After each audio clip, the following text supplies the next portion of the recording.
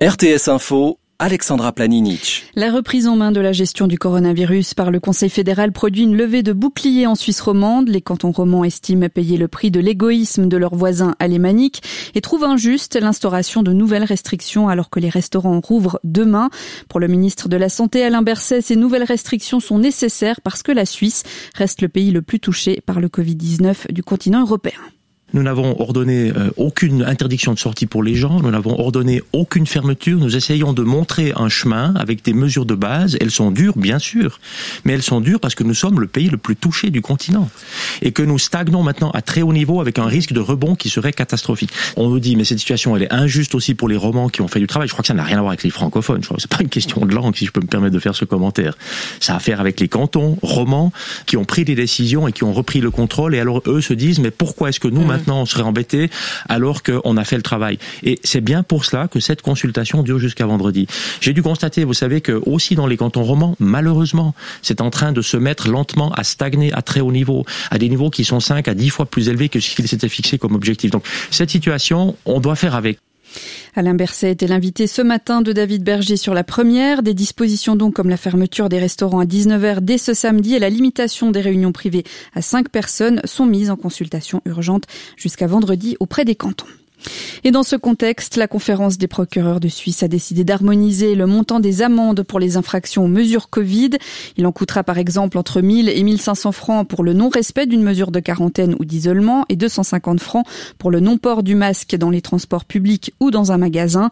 Des amendes jugées déplacées par le Conseil national UDC Genevois Yves Nideguerre. Je trouve que lorsqu'on exproprie le citoyen de la classe moyenne d'une journée de travail, en gros, pour la moindre des pécadilles, masques ou, autre chose du genre, on est clairement dans le délire euh, des amendes.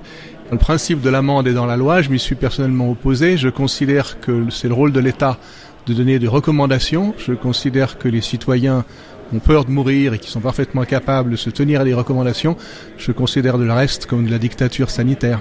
Des propos recueillis par Mathieu Anderson. 3 millions de doses de vaccins supplémentaires, c'est la nouvelle commande passée par la Confédération auprès de Moderna, indiquait hier l'Office fédéral de la santé publique, une commande qui vient s'ajouter aux 4 millions et demi de doses déjà assurées entre la Suisse et la société américaine. Interdire la violence à l'égard des enfants, c'est ce que demande un postulat débattu aujourd'hui au Conseil national. Selon l'organisation Terre des Hommes, un enfant âgé de moins de deux ans et demi sur cinq subit des punitions corporelles. Certains parlementaires estiment toutefois que l'État ne doit pas se mêler de la vie privée. Mais pour Christine Bulliard-Marbar, conseillère nationale PDC fribourgeoise et auteur du postulat, inscrire ce principe dans le Code civil serait un signal fort le recours à la violence à l'égard des enfants est encore parfois admis dans notre société. On dit qu'en Suisse, un enfant sur deux subit des violences physiques et psychologiques dans son éducation et nous savons que l'expérience de la violence a un impact durable sur l'enfance et je suis donc convaincue que nous devons mieux protéger nos enfants et le meilleur moyen pour le faire est à mon avis d'inscrire le principe d'une éducation non violente dans notre code civil. Je pense que maintenant c'est vraiment le moment d'autant plus que nous sommes en retard, que la Suisse a signé la Convention de l'ONU sur les droits de l'enfant et à chaque fois, on nous confirme qu'on n'est pas conforme avec nos engagements en matière de la protection de l'enfance. Et ça, je crois que ce n'est plus tolérable. Christine Billard-Marbar, interrogée par Pauline Rappa, et si le postulat est accepté, le Conseil fédéral sera chargé de faire un rapport sur cette question. Et en parlant d'abus sur les enfants, en cette période de pandémie et de restrictions, de nombreux pédocriminels ont profité de sévir sur le web ou encore sur les réseaux sociaux, ce qui a provoqué un bond des abus sexuels en ligne, notamment envers des mineurs provenant de pays en développement, comme les Philippines ou l'Indonésie. Le gouvernement philippin a d'ailleurs enregistré un bond de 260% des signalements de contenu liés à des abus sur des enfants de mars à mai. En France, quatre ans de prison dont deux fermes, c'est la peine que les procureurs du parquet national financier ont réclamé hier à Paris à l'encontre de Nicolas Sarkozy. Une demande qui fait qui est qui est due à un réquisitoire méthodique et aride, mais pas que. Le parquet a surtout dû se défendre de vouloir politiser l'affaire. Alexandre Abbé.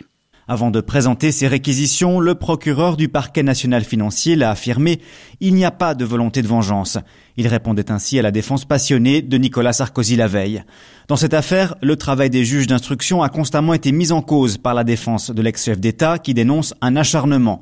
On ne peut pas admettre qu'un ancien président oublie la République, a lancé le procureur. Les peines réclamées sont les mêmes pour les trois prévenus, Nicolas Sarkozy, son avocat de l'époque et un ancien magistrat. Des écoutes téléphoniques auraient dévoilé qu'en échange d'informations classées dans une autre procédure concernant Nicolas Sarkozy, ce dernier aurait envisagé un coup de pouce dans la carrière du magistrat. Un simple bavardage entre amis selon Nicolas Sarkozy, une preuve de corruption et de trafic d'influence selon ses accusateurs. Le verdict sera rendu jeudi. Alexandre Abbé, RTS Info, Paris.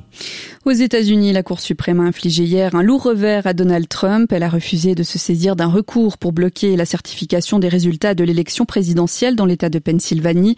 La Cour suprême, qui compte trois magistrats nommés par Donald Trump sur neuf, n'a pas motivé sa décision et aucun de ses membres n'a notifié être en désaccord. Et du côté de la météo, aujourd'hui, le temps sera le plus souvent très nuageux, avec par moments quelques faibles précipitations plus fréquentes le long des préalpes et en direction de la Suisse alémanique, limite des chutes de neige vers 500 mètres.